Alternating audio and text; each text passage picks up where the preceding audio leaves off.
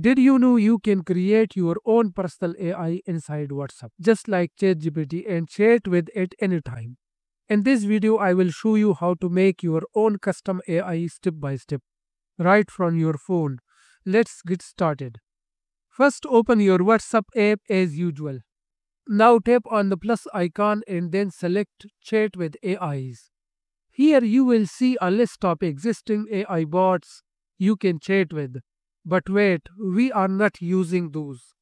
Instead, tap on the plus icon at the top right corner to create your own custom AI. In the first step, write a short description of what your AI will do. Next, choose the type of AI you want.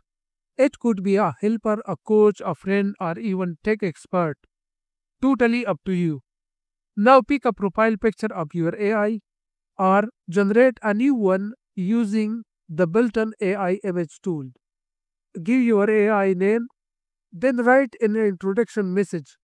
This is what your AI will say when someone first opens the chat. Finally, hit create and that is it. Your AI is now live and ready to chat with you inside WhatsApp. Your AI is now your personal guide, available 24 hour right inside your WhatsApp. Ask it anything, get advice, or automate tasks. The possibilities are endless.